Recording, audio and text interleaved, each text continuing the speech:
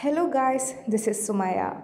Today I will show you how you can create an image gallery in your WordPress website.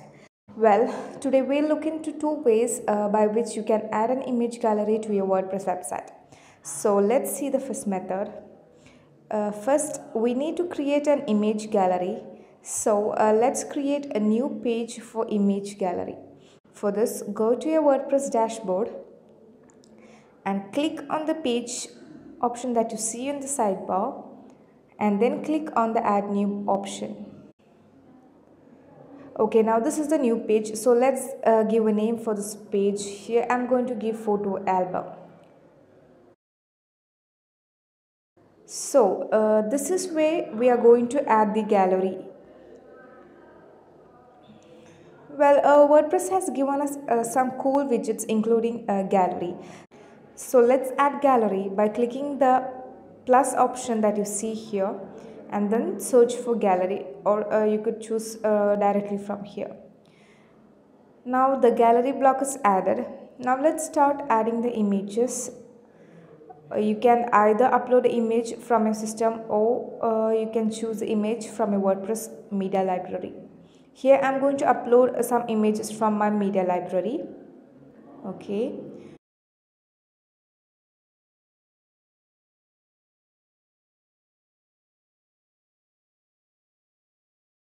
Okay, once you have selected the images, click on the create new gallery option which you see right here at the bottom and then click on the insert gallery option.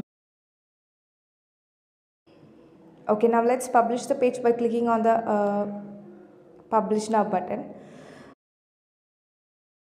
So here is the photo album that I have created.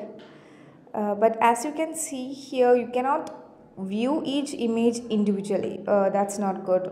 I want to view each image individually. So to see each image individually uh, let's go back to the dashboard and make some changes. Choose an image from the gallery that you have created right now. Okay here there is an option called link to. Click on that option and then select media file. Okay now let's update the page okay we have updated the page. Now let's go back to the website and reload the page. Now when you click on an image you can view the image individually. But uh, something is missing here. As you can see there is no option to view the next image in the gallery. So to make that possible we need to install the plugin called WP Featherlight.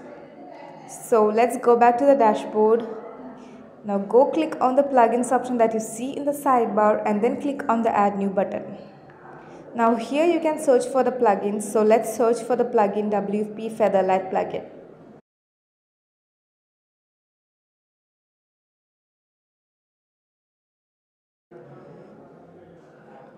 Okay, let's install this plugin by clicking on the install now button and then click on the activate plugin. Okay, that's done. Okay, uh, there are no much steps to integrate or set up the plugin. Uh, now we can just go view the changes in the website here. Now as you can see you can view the images individually and also switch from one to another image easily. So that's one way by which you can add an image gallery to your wordpress website. Apart from this you can also add an image gallery to your wordpress website by using plugins so let's see how that's done.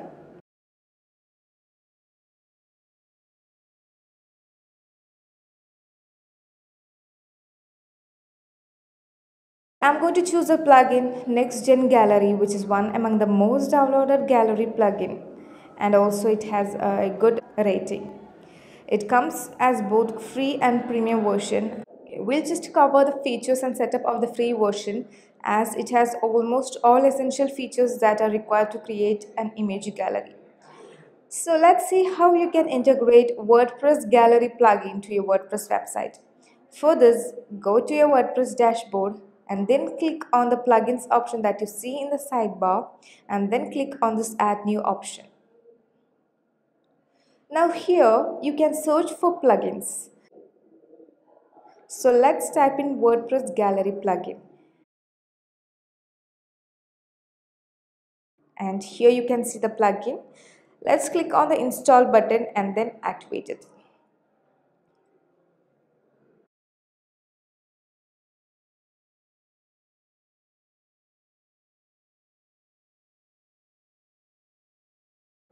Uh, now here they are asking us some data. Now here uh, they are asking some data. We can skip this uh, step because it would work fine. So I'm going to skip this uh, option. Uh, now on the sidebar you can see there is the gallery plugin. So let's uh, look into each settings of the plugin. First is the overview. Here it gives an overall idea about the plugin. And now let's look into the second option which is add gallery. Uh, so this is where you can create a new gallery and upload images. Uh, let's begin by giving a gallery name right here.